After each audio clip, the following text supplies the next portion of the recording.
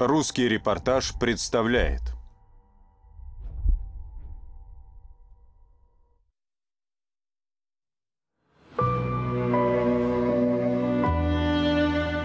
Есть хорошее, очень хорошее место для вас.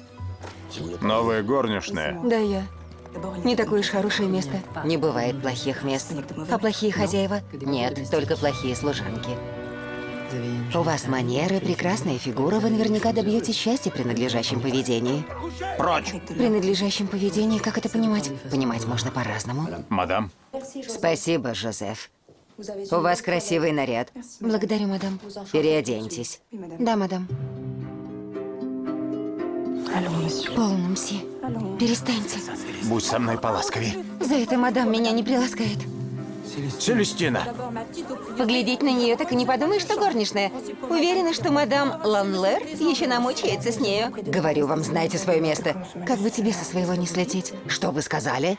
Ничего, мадам. Селестина, Селестина! Вы обязаны являться по первому зову. Да, мадам. Принесите мое рукоделие. Принесите иглу. Принесите нитки.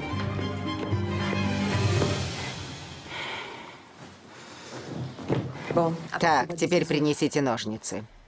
И поскорее. Фильм Бенуа Жако. Прислуга должна иметь стальные нервы. Я уже говорила, чтобы вы не пользовались духами. Да, мадам. Пусть не думает, что я буду это терпеть.